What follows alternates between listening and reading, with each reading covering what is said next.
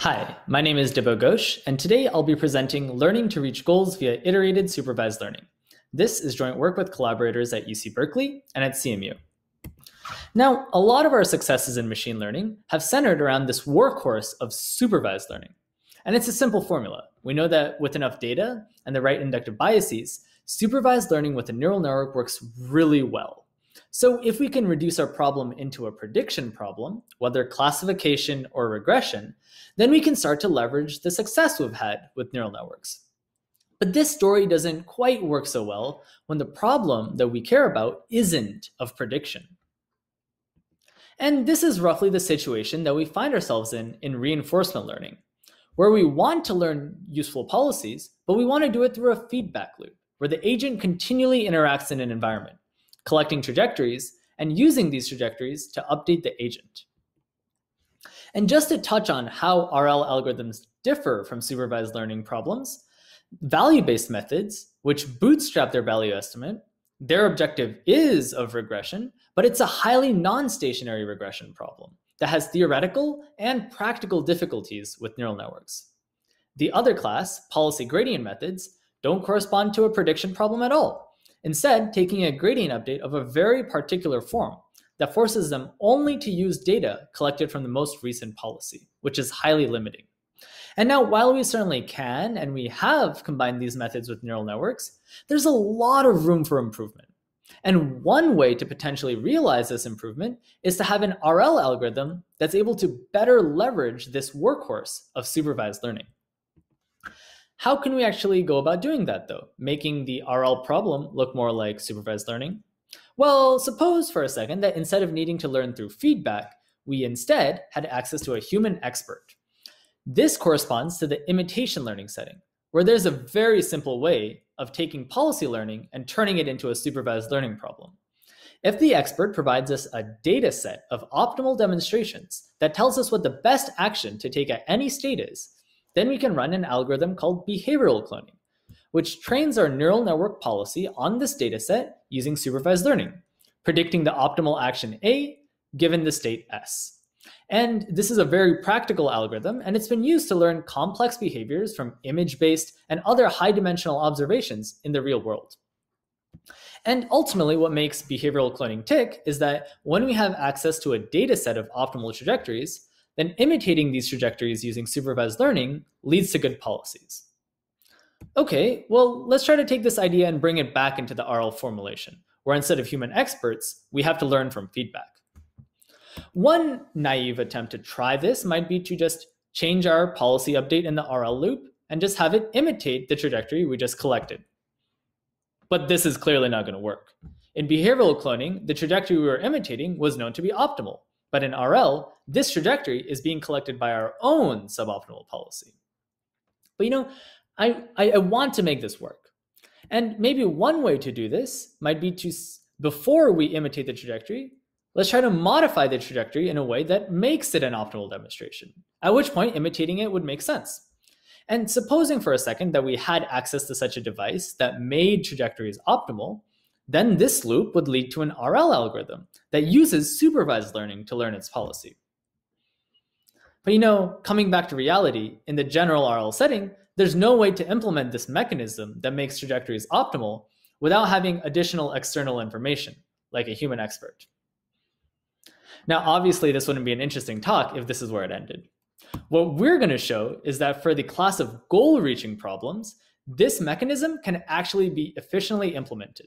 And this leads to an incredibly simple algorithm for the goal reaching problem that follows this exact cycle, collecting trajectories from the policy, modifying them to become demonstrations of optimal behavior, and then imitating this modified experience, continually looping the process.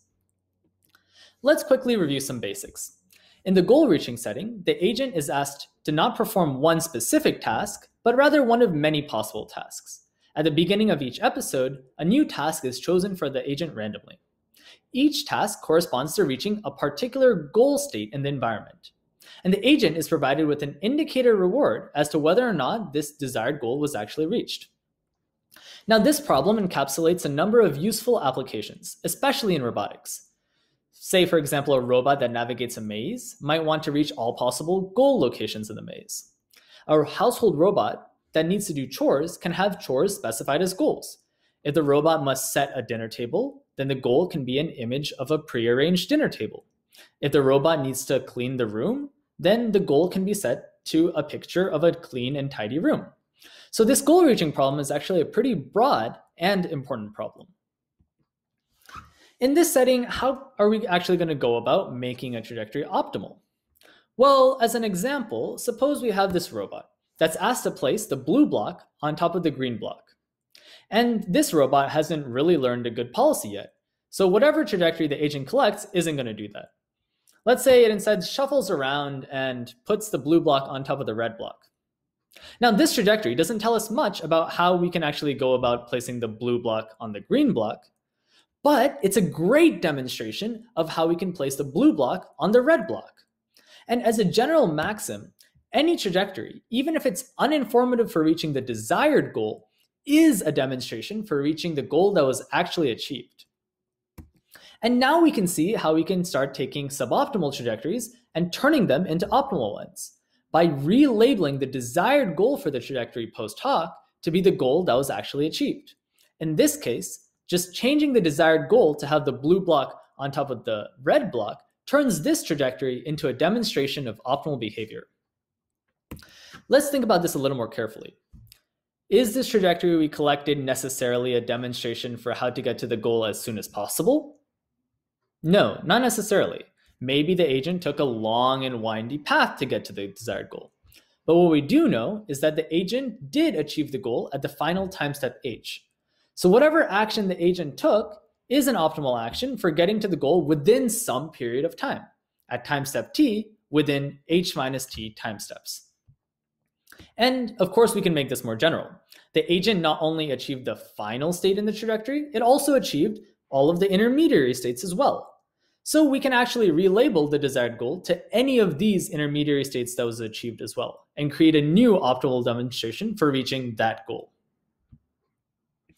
And this mechanism of changing the desired goal to be the goal that was actually achieved leads to our algorithm, which we call goal conditioned supervised learning, GCSL for short. GCSL follows this exact flow that we described. It iteratively collects trajectories, replaces the desired goal to turn it into an optimal demonstration, and then imitates this newly created demonstration using supervised learning and repeats this process over and over again. Let's walk through one round of GCSL with our robot.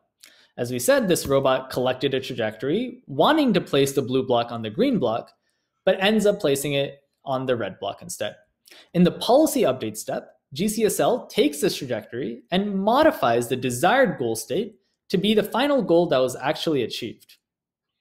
Then we take this newly created demonstration and perform goal conditioned behavioral cloning on it, which is this supervised learning problem where the neural network policy has to predict the optimal action when passed in the current state, the desired goal state, and the horizon, which is the time frame in which the agent needs to learn to achieve the goal. Now, there's one question here. Why do we need this to be a loop? After all, how can we actually improve on imitating optimal demonstrations? It turns out to be crucially important in this process that this is iterated. Let's see why. At the beginning of training, the policy that's being used to collect data only sees a small subset of states. And so when it performs relabeling and imitation, it will only learn how to reach these goals that are nearby. It's only having done so will the agent actually encounter new goals that are further away or more difficult to achieve. So by repeating this relabeling and imitation step, the policy will get better at reaching a wider and wider range of goals, and as a consequence, start to witness even more goals and new ways to reach them. If this agent never iteratively collected data, then it would only ever learn a policy to reach the most easy to achieve goals. Now, there are a couple of interesting aspects about this algorithm that I'd like to comment on. The first is that since this idea of goal relabeling works with any trajectory, this algorithm is actually completely off policy.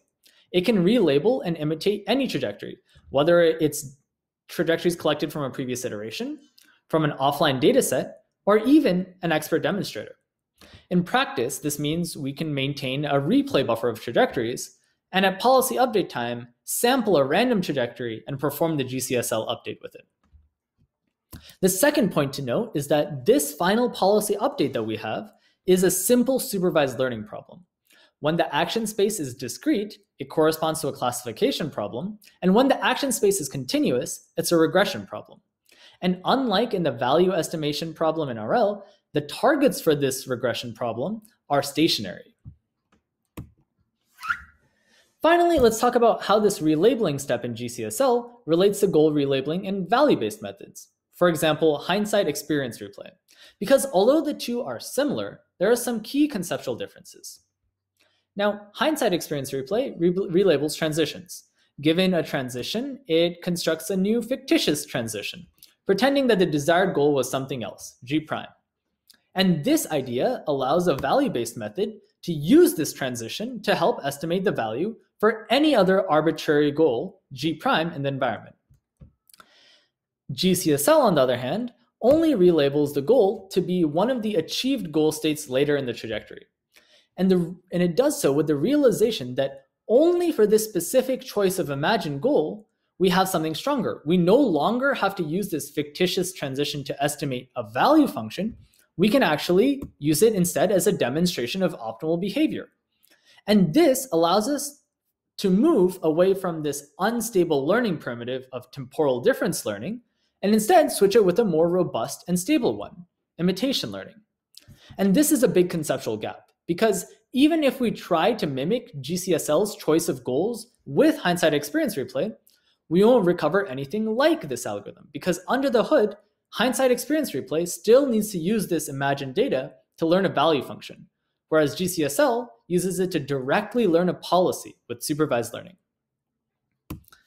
Now, we analyze GCSL formally, borrowing tools from the analysis of behavioral cloning and policy gradient methods. If you're interested in the details, please do check out the paper, but at a high level, we drew two conclusions.